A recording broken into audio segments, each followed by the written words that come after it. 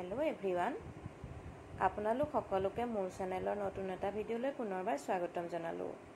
ঘৰতে পকা কল আছিলে। পকা কলৰ পৰা আজি গুড় বনালোঁ। তাৰে ৰেচিপিটো আপোনালোকলৈ আগবঢ়াইছোঁ।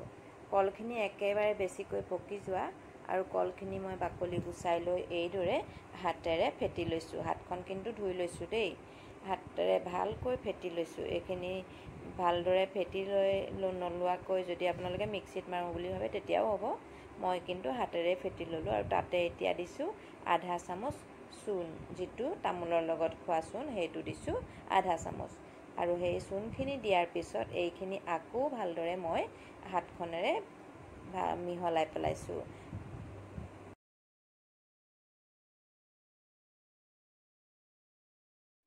এতিয়া মই এইখিনি প্ৰায় এঘণ্টামানৰ বাবে ঢাকি ৰাখিলোঁ। আৰু ঢাকি ৰখা এঘণ্টামানৰ পিছত এয়া আমাৰ কলখিনিৰ পৰা এইদৰে পানীও ৰস ওলাইছে। আৰু এতিয়া মই এটা চচপেনত কলখিনি বাকি ল'লোঁ আৰু বাকি লৈ তাতে অকণমান গামলাটো আওখালি পানী অকণমানো দি দিছোঁ।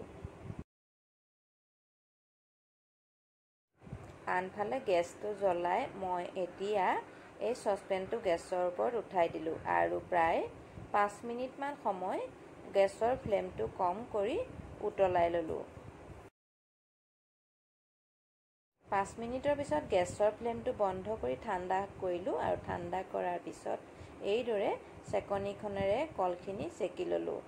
চেকি লৈ ইয়াৰ ৰসটো উলিয়াই লৈছোঁ আৰু বা এখন চেকনিত চেকিছোঁ আপোনালোকে চেকনিত নেচেকিলে এনেকৈ প্লাষ্টিকৰ নেট কাপোৰ দি চেকিলেও হ'ব। আৰু এইদৰে চেকি লৈছোঁ। চেকি লোৱাৰ পিছত ইয়াৰ ৰসটো উলিয়াই ল'লোঁ আৰু ওপৰৰখিনি পেলাই দিলোঁ। আৰু এতিয়া আকৌ এটা চচপেনত মই এই ৰসখিনি বাকি ল'লোঁ। বাকি লৈ গেছৰ ওপৰত আকৌ উঠাই দিলোঁ।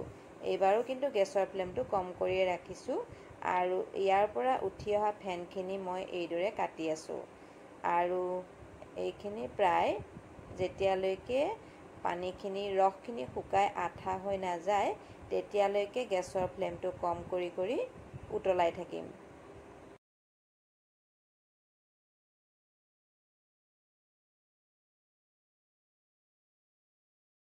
একেবাৰে পাৰফেক্ট গুড়ৰ নিচিনা টান নহ'লেও এই ৰেচিপিটো কিন্তু একদম গুড়ৰ নিচিনাই হৈছে।